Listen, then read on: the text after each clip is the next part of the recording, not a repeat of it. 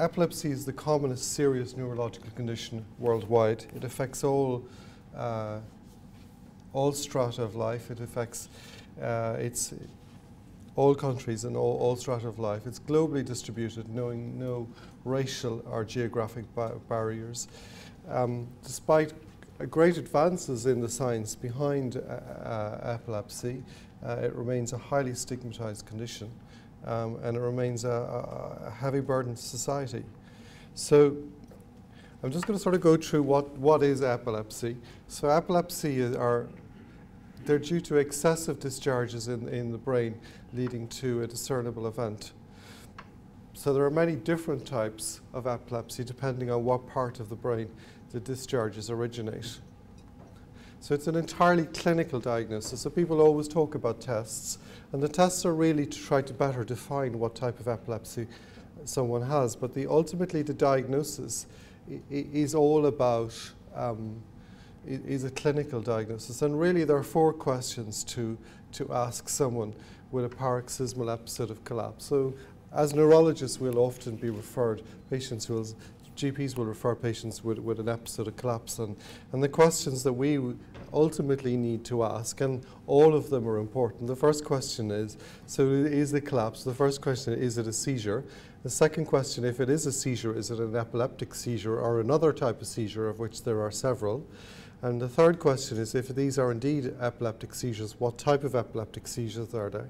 And then the fourth question is if if you know what type of seizures there are, then what is the epilepsy syndrome? And as neurologists and as, epilept uh, as epileptologists, it is contingent on us to answer all four questions. Just saying to somebody that they have epilepsy it simply isn't good enough. Do, people deserve better than just saying that you have epilepsy. So it doesn't give you any explanation of why the epilepsy is there or what type of epilepsy it is. And it takes many different forms. So it's important to characterize, to standardize, and to have correct communication. So we really, both as neurologists uh, and, uh, and the general public, we, there needs to be a common language and a language that we all use and that all understand. So the, the, the original classification really came from 1981 where seizures were classified into partial seizures or generalized seizures and then the epilepsy syndromes were classified in 1989 but the and these are the most these two papers are the most highly cited not surprisingly papers in epilepsy but the point about the classification particularly the classification the 89 it didn't really we have moved on from that, so it didn't really take into account the impact of imaging or the impact of genetics.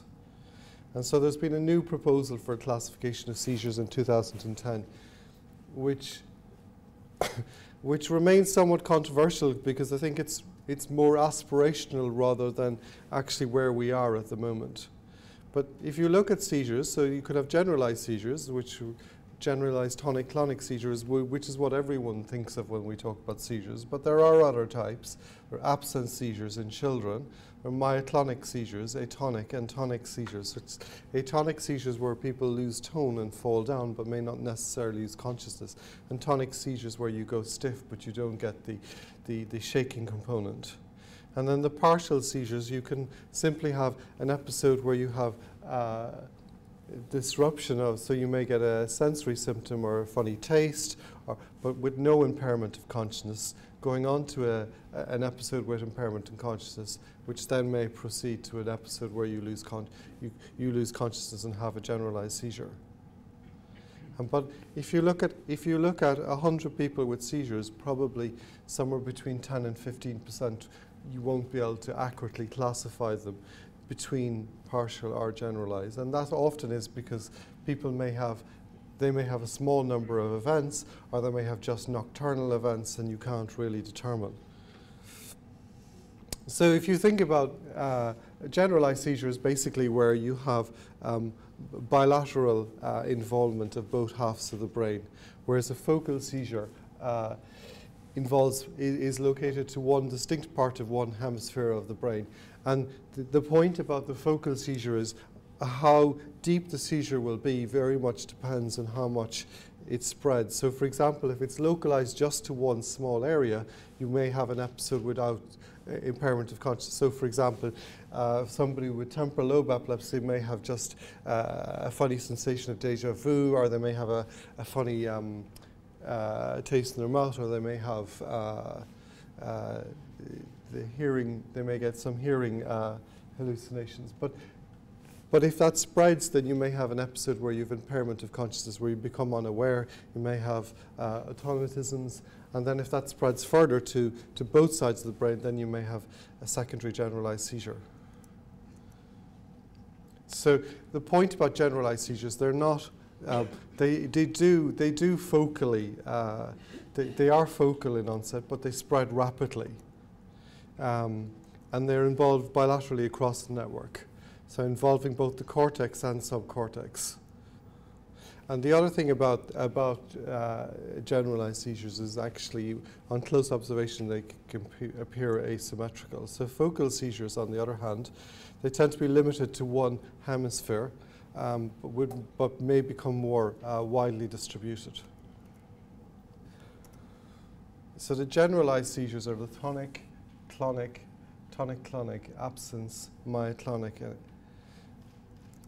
and the, the simple, the focal seizures are your simple seizures or your complex seizures, so with, impair, with or without impairment of consciousness and secondary generalized. So an absence seizure, so absence seizures account for about, they're a very specific type of seizure and they account for about 10% of childhood sin. And this is very much a childhood, uh, it's a childhood syndrome. So they often will, a blank stare, loss of consciousness, they'll stop moving, there may be eye blinking or eye rolling with minor tongue. They sudden onset with rapid recovery and they may have brief but many attacks per day.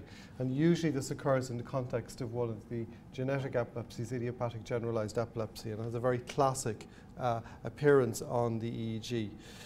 The point about these seizures are they often will occur in the context of other seizures. So children with these or adolescents with this type of seizures will often have uh, also have generalized seizures or myoclonus.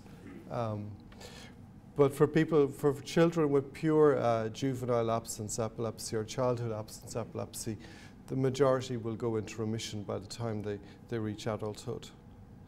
And so really it tends to be this, this is the classical staring episode. Um, maybe they may have some eyelid uh, fluttering or movement of them out, but they, you know, it will last for a couple of seconds and they'll be unaware. So the generalized tonic-clonic seizure is, is this the classical seizure. So loss of consciousness and awareness, may have an, a, a cry beforehand, will often fall or injure themselves. And this is the seizures that we worry about the most in, in the context of injury. So the tonic phase is where, where you go, where the, the body goes stiff, and the clonic phase is usually then when, which is rapidly followed by the clonic phase, is where you get the, the shaking, often associated with tongue biting or incontinence a sudden onset with gradual recovery. But the actual period of the seizure itself typically is actually quite brief. So the normal seizure, a normal generalized seizure lasts between one and two minutes, um, but often associated with confusion, sleep, headache, uh, muscle pain. and this is sort of the classic picture. So usually, often actually, the seizure itself is quite short, but the, the, the period for recovery can be quite long. So myoclonic jerks usually are, occur in the context of other types of epilepsy. So they're usually brief.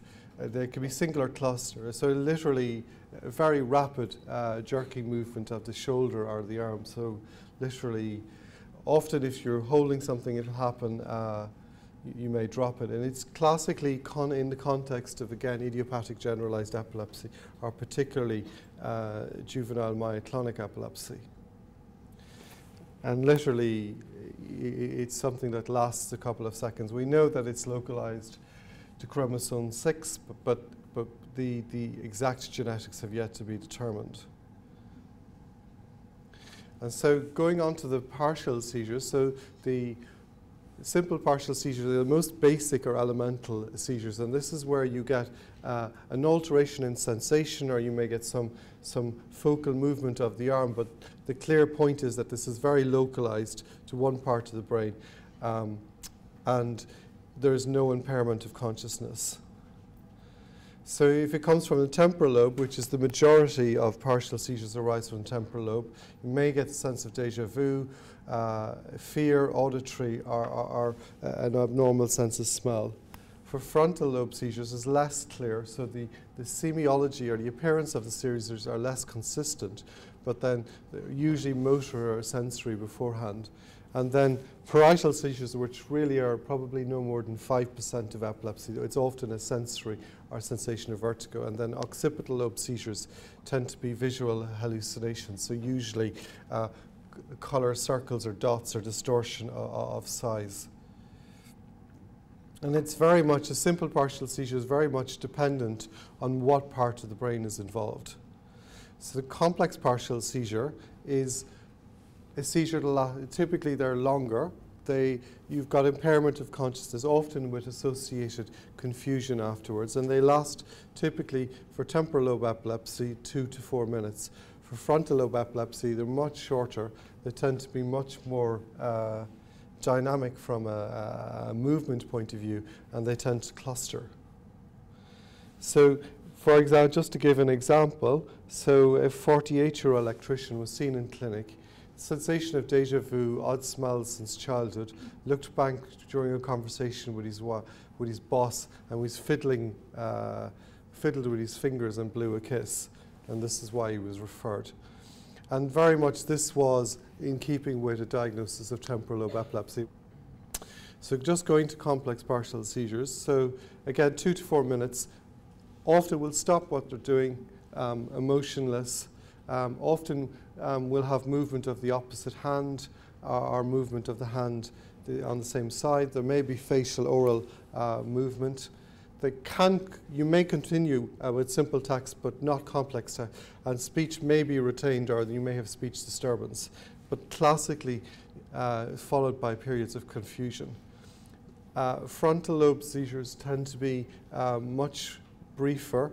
They often occur at night and they tend to cluster sudden onset with cessation, so typically no warning, um, and often bilateral movements, so sort of cycling um, movements of the legs or hands, head rotation, um, and often these will become secondary generalized. So this process is where you go from sort of one part of the brain to both sides of the brain and then to generalized. And that's sort of the, in a sense, uh, uh, an epileptic discharge progression. And so there are other types of partial seizures. Um, as I said, uh, parietal seizures are very rare. Um, but the uh, occipital seizures, I suppose they are where the, the, thing is sort of very basic visual hallucinations, not complex hallucinations. Um, okay, so I'm just going to go through the causes. So syndromes, the epilepsy syndromes, they're defined by age, seizure type, seizure frequency, um, family history imaging. So the, like everything, the localization can be idiopathic, they can be cryptogenic or symptomatic. So the idiopathic tend to be what we refer to as a genetic, uh, the genetic um, uh, epilepsies. And interestingly, the symptomatic, when people talk about brain imaging, you're always looking for symptomatic. So something, uh, a focal thing to describe why the seizures may be arising. If you think about seizures, you can sort of, you can almost divide them into four quadrants by age and by, uh, by type. Um, and the classic idiopathic generalized seizure in childhood is a childhood absence. And the classic uh, uh, fo focal epilepsy in adults is, is temporal lobe epilepsy with hippocampal sclerosis or scarring. So the new classification, which is in 2010, has changed this and I've said I'm going to. So the idea of this is, is, is more to use, uh, particularly there's been a focus on using uh, genetics and metabolic. Uh, so the main classifications now by etiology are genetic, structural, or unknown. Um, the problem is, as with everything, with all classifications, there's overlap. Um, and the problem is actually, in, in, a sense, the, the classification, it, it, is quite aspirational in that sense. It's, it's, it's applying a level of complexity to our knowledge of, of epilepsy that as yet we do not have. So really, the, if you look at the original classification, how we think of epilepsy, we would all sort of thought very much it was a dichotomy between, and a clinical dichotomy between focal and generalized epilepsies. Now the 2010 classification is very much, it, it adds a biological class uh, component to that, so the impact of genes and, stru and structural abnormalities and mechanisms. And so as an example, you have, if you have, take temporal lobe, there is a, there is a syndrome called uh, um, GEFS plus, which is generalized epilepsy with febrile seizures. And that's known to have a genetic basis, so it, it's known to, to be related to disruption of a channel. Yet we know that you've got two different types of epilepsy, yet with, uh, with a, a, similar underlying biological mechanism. So, so ultimately, the classification of how we view uh, epilepsy is very much a work in progress. Um, this is, I suppose, so talking about risk, I just want to move on from classification to basically look at the, the epidemiology of epilepsy and its impact on, on healthcare. So overall, as there, if you look at the epidemiology of epilepsy worldwide, there is there's um, very significant variation both within countries and between countries. If you look at epilepsy worldwide, over 80% of people with epilepsy are in resource poor countries, typically from rural areas, mostly poor. And this, this is the global challenge, particularly with that the WHO is facing, that the majority of people in epilepsy that have epilepsy in the world are in a situation that they have limited access to treatment and, um, and therapy. Um, and very much in the developing world, you've got a higher birth rate, related to higher birth rate, higher infant mortality, which is, uh, is improving, um, shorter life expectancy, and it's mostly in the developing world. Epilepsy is mostly a condition of young people, whereas actually the demographics in, in the developed world has shifted that it's less and less a, uh, a condition of childhood, but more actually it's more the, the most common age group that are now diagnosed with epilepsy are the over 60s. Um, when you're comparing um, um, uh, findings between countries, it is difficult because there's a definitions employed are, are, are, are, different in cross country and there's always this question of, of accuracy, the accuracy of the diagnosis because it's a, ultimately it's a clinical diagnosis and because there's no physical substrate to epilepsy uh, it does mean that the, the, the diagnosis is uh, can be difficult. Um, also, the different there's difference in the use, uses of classification and causes of epilepsy or risk factors differ between countries. So overall, approximately the incidence of epilepsy, so the number of new cases of people who develop epilepsy per year is approximately uh, approximately 50 per 100,000. Um, in, in resource poor countries, the, the, the range is much greater. It's somewhere between 80 and 190. And very much, um, on average, probably 120. This is particularly in sub-Saharan Africa and, and, South, uh, and, and South America. In, certainly in Southeast Asia, the, the incidence appears to be similar to that of uh, the data of Western countries.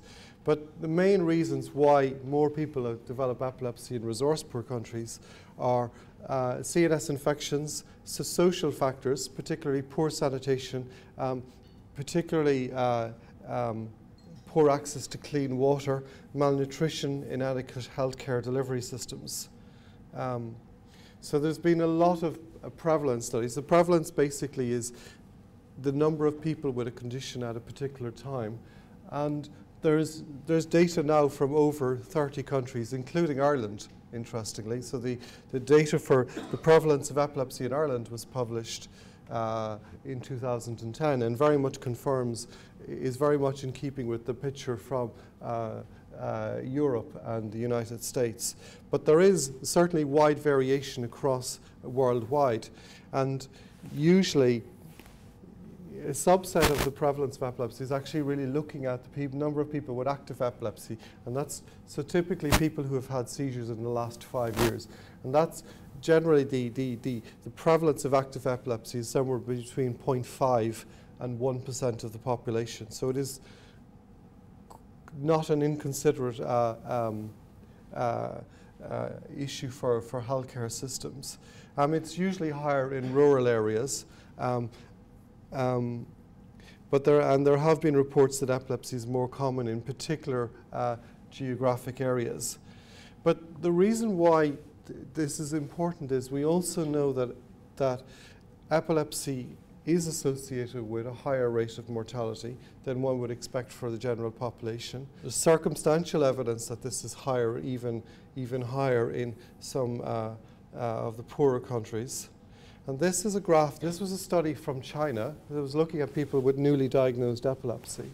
And essentially this, basically, the, an SMR is the expected mortality if you compare the, uh, an age and gender matched population uh, to the population under study, the, it's, a, it's a ratio, and the normal ratio would be 1. So anything above 1 is higher than you would expect. But so you can see the levels, but this is young people, so you can see from up to 14 there is no change. But suddenly when you go from 15 to 19, these were males, that the, the mortality was over, for those between the ages of 20 to 24, the mortality was, was 40 times higher than what you would have expected for, um, for people of the same age without epilepsy. And this, this study very much um, made the uh, Chinese government or Department of Health stand up and take notice. So there's now been quite a lot of move in conjunction with the, the WHO and the IBE to actually um, um, promote programs uh, and to promote treatment of epilepsy. Um, there is also evidence that for some people, their, their epilepsy is very much on a spectrum, and there, is, there, are, there is evidence for some people that seizures will stop, may stop without treatment. Obviously, there are no, in the Western world, this is the, studies like that are just not possible. But there, are there is evidence from, from uh, developing worlds that actually people, uh, maybe 20 to 30% of people with epilepsy will go into spontaneous remission. So obviously, if you look at prognosis, I mean, and the, I think the key point is this, this, the risk that epilepsy does pose. In a truly chronic condition which never recovers, the number of people who have ever developed the condition will be somewhere similar to the number of people with current epilepsy. But in developed countries, um, the difference between the two rates is largely attributed to cessation of seizures induced by, by treatment. However, in the developed world, in some countries, over 80% of people with epilepsy do not have access to adequate treatment. And when you put that in context, so there are currently um, 22 different anti-epileptic drugs. The oldest of the currently used drugs, phenobarbital, has been around for over a century, so it was been in use since 1912. And the cost of phenobarbital per month is, um, I think, 10p. It's something like that. Yet for most countries, they don't have access to it, and it's, it's because it doesn't. It's of no benefit for the companies to produce it. So phenobarbital is recognized as uh, and has been advocated by the WHO as, as, one, of the, as one of the key uh, treatments for epilepsy. But in many countries, um, the, the cost of the drug is far in excess of what it would be in the Western world because of distribution issues. So looking at this, this slide is looking at three di different areas. So in Pakistan, it looked at a population of 450,000, um, and of whom it was estimated that the uh, so it was estimated 450,000 people with epilepsy, of whom 22,000 were on treatment. So essentially, the treatment gap was almost 95%. Similarly, in the Philippines, only 14,000 of 270,000 were on treatment. and in Ecuador, uh, only 11,000 to 55,000. And interestingly, and this is the most recent of the studies, in Georgia, the incidence of epilepsy, the prevalence of epilepsy was estimated to be 11.4 per thousand, meaning that all, just under 70% of people with epilepsy were inadequately treated.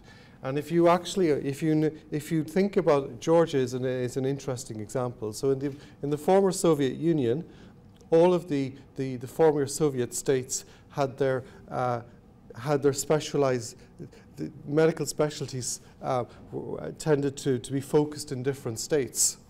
And interestingly, uh, Georgia was where neurology was based, so it's not actually from a shortage of neurologists. The number of neurologists uh, compares quite favorably to Ireland. Yet the access to treatment, either through social issues, so people, uh, fear of stigmatization, uh, people were not being treated. And this study was only, this was done from 2012.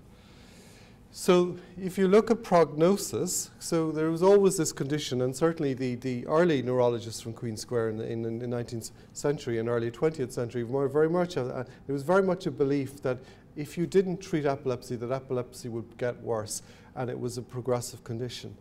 That has, has completely been disproved we now know that irrespective for how long somebody is having seizures, if you put them on seizures, if you put them on treatment, their response rate is comparable to somebody that has a new di- has only had one or two seizures. And this has been shown in a number of studies throughout uh, the developing world. So studies from Kenya, um, uh, Kenya, Ecuador, and uh, India. So irrespective, of, and the drugs that were being used in these studies are, are the old drugs, phenobarbital, carbamazepine, and phenytoin. And that, if you globally look at the distribution of drugs that people have access to, these are the drugs that people have access to. They don't have access to the newer fancy drugs, levetiracetam, zonisamide. These are not drugs that the majority of people of epilepsy have, have access to. So overall, I think the, the thing to understand with epilepsy, the prognosis for epilepsy with, with treatment is, is, is good. And I think it's been, in, in, if, in, so it's often said that 30 to 40% of people will have refractory epilepsy between uh, if you continue, if you don't treat. I think that's not true. I think it's overly pessimistic. I think the figure is much better. Um, and that's been shown with, with, with, with longitudinal studies of people with epilepsy that actually the longer you follow people up, the greater the proportion of people go into remission.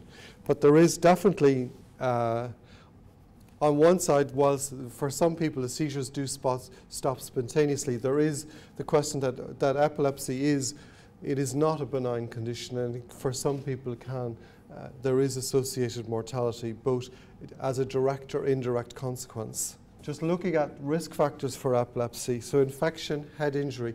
But the reason why people develop epilepsy, it's not just one condition. There's often a single, there's often a, a, a primary precipitating event. So, for example, somebody with a stroke, but actually why people develop epilepsy is multifactorial. Um, there are other, other reasons.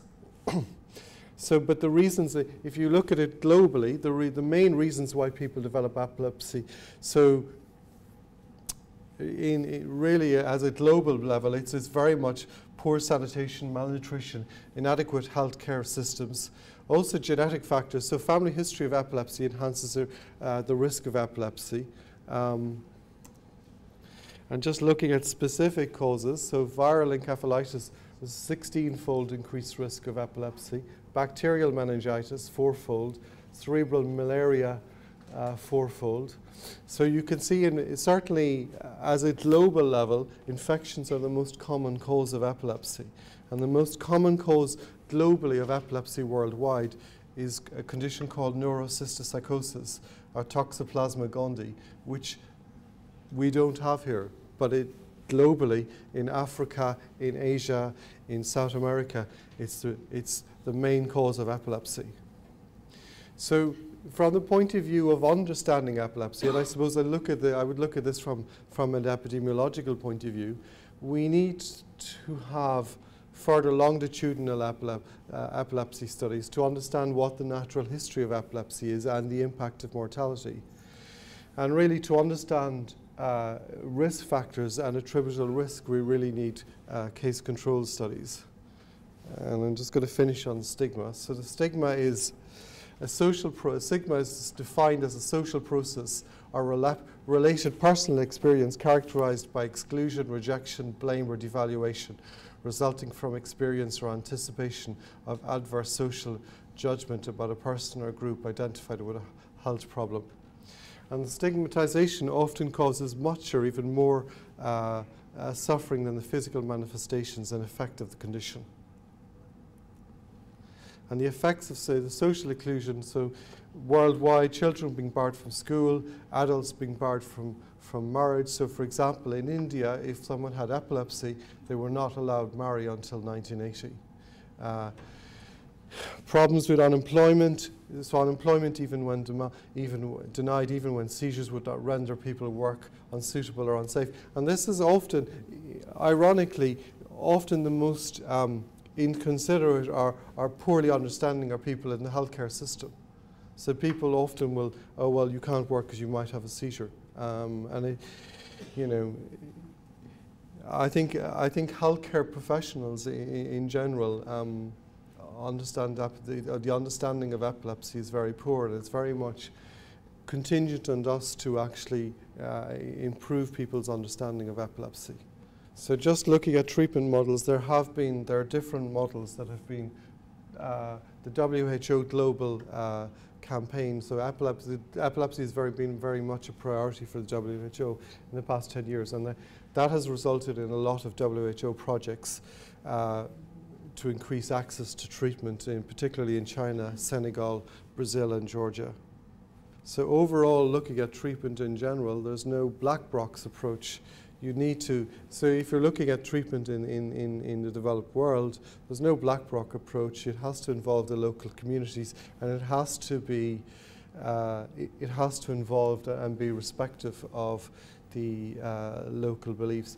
And I think that the, the message, uh, uh, while this is something we've tended to forget in the um, the Western world because it's a drug that we don't really use outside of pediatrics is that phenobarbital is very much, it is a safe drug used at correct doses and it is efficient and it's something, but it's important that we, globally, it's, it's important that, that we ensure access to treatment to in resource poor countries.